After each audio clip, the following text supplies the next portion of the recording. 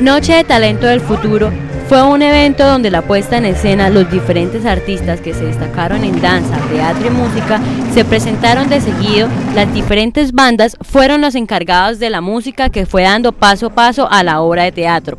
Y que viene mostrando como un resultado del proceso de formación de las escuelas artísticas de nivel avanzado, en el cual está conformado por las escuelas como Batuta, Musichico, Las Tablas, Polietnia, la Fundación Musical Arnulfo López y todos estos niños y jóvenes que hacen parte de todas las escuelas de formación. Esta vez vinculamos también los niños que fueron eh, formados y capacitados a través de las escuelas públicas y sus docentes.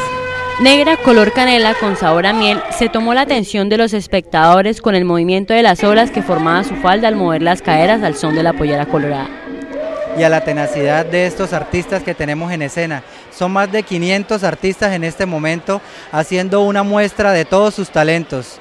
En estos cinco escenarios que hemos tenido hoy en esta, en esta escenografía hecha también por madres cabezas de familia de nuestra ciudad, donde vemos un despliegue total de estos jóvenes y talentos del futuro.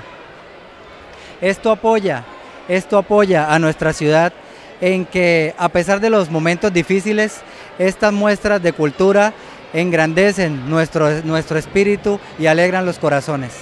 El Coliseo Normal Cristo Rey fue adornado desde la entrada con un pasillo de antorchas que se encargaron de iluminar el camino mágico al aposento de ritmos musicales e historia.